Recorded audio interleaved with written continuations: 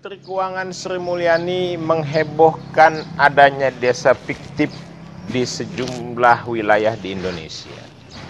Menurut Menteri Keuangan, indikator utama disebut desa fiktif adalah penduduk di desa tersebut kurang dari 100 jiwa. Kebetulan di Kabupaten Berau ada empat kampung yang memenuhi kriteria tersebut. Apakah kemudian empat kampung tersebut juga disebut desa fiktif? Saksikan liputannya saudara. Baik Pak Ilyas Nasir, ini Menteri Keuangan Sri Mulyani Ya. beberapa waktu yang lalu menghebohkan Ya. bahwa di Indonesia ini ada desa fiktif dan standar dari Kementerian Keuangan yang disebut desa fiktif itu adalah jumlah penduduk di bawah 100 Pak. Nah kebetulan di Brau itu kita memang ada empat kampung yang penduduknya di bawah 100. Ya. Penduduk di bawah 100 itu berdasarkan data Dinas Kependudukan Catatan Sipil 2019. Di, di Kelai ada tiga, yaitu Long Lamcim, Long Pelai, kemudian Mapulu. Di Segah ada satu Pak, Punan Segah. Nah, Bapak sebagai dinas DPMPK yang membidangi masalah desa dan atau kampung ini, bagaimana menanggapi itu Pak? Ya, gini, eh, dalam persepsi saya Mm-mm. di Berau tidak ada desa fiktif. Hmm.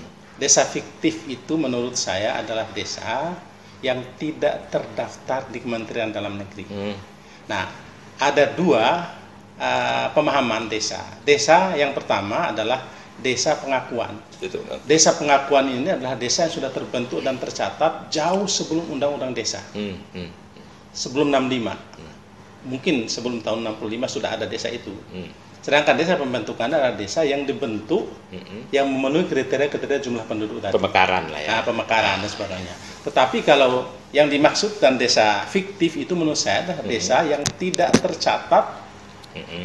di Kementerian Dalam Negeri. Sedangkan desa di Kabupaten Berau semuanya semuanya sudah tercatat di Kementerian. Kementerian Dalam Negeri Artinya punya kode kampung, punya kode desa sudah kode ya. desa.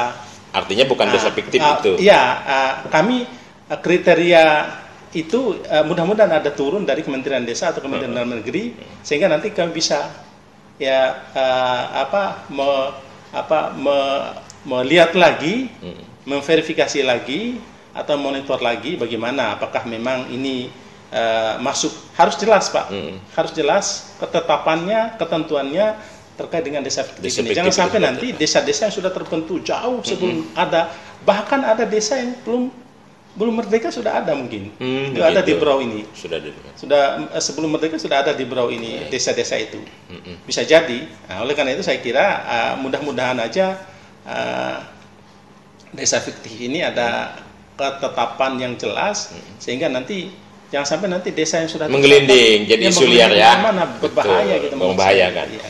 Terus kalau apa namanya Menteri Keuangan itu dia menggelindingkan hal ini karena memang beliau melihat desa itu dibentuk pembentukan berarti ya Hmm. itu karena hanya untuk memanfaatkan dana desa Iya, gitu iya. ya dasarnya tuh seperti itu wujudnya Mm-mm. kebanyakan pelaporan dana desanya yang kemudian bermasalah Iya. dalam tanda kutip.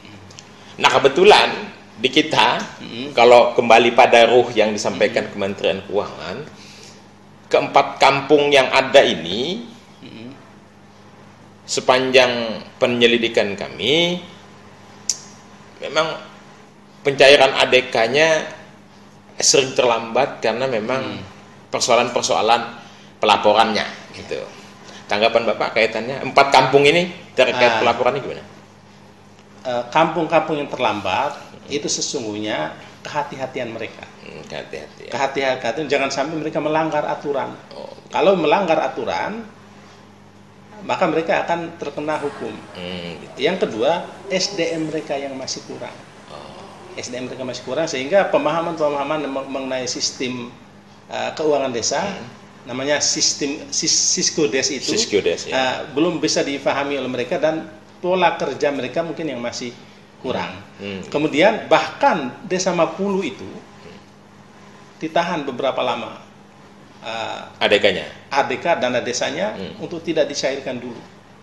Masalahnya apa? Nah, masalah karena uh, apa namanya masalah bisa jadi uh, masalah hukum. Ya, yang Ya. kedua masalah hukum. Salah satunya kan mantan kepala kampung Mapulu juga ditahan Iya, iya, ditahan. sampai sekarang kan. Nah, Ya. kemudian uh, wilayah itu wilayah itu masih diklaim sebagai wilayah uh, Merabu. Oh, Sementara di peta uh, BIG di ada sudah ada bahwa Kampung Mapulu ada petanya di sana. sudah ada ya. Sudah ada. Sudah ada di sana dan sudah didatangi ke sana. Kemudian ada penelitian dari kalau tidak salah dari uh, perguruan tinggi di Jogja datang ke Berau Hmm. tahun 65. Tahun 65 itu Mapulu itu sudah ada. Ada tercatat. Nanti Jadi dia memang kampung tua ya. tam kampung tua. Meskipun Ya. posisi di lapangan Ya. antara Mapulu dengan Merabu Ya. yang berbatasan, Ya. itu kan batasnya sangat kecil. ya. sangat minim Pak gitu. Tidak tidak tidak anu lah. Tapi desa ini sudah ada. Memang sudah kampung tua sudah ya. kampung itu.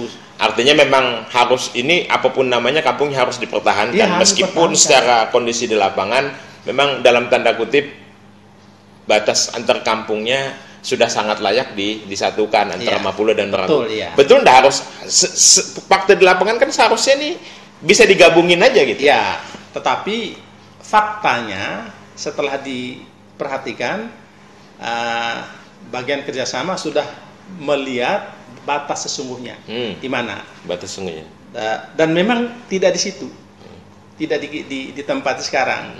Nah mungkin nanti akan di eh, direlokasi ke tempat yang lain Hmm, yang memang wilayah itu akan diatur hmm, hmm.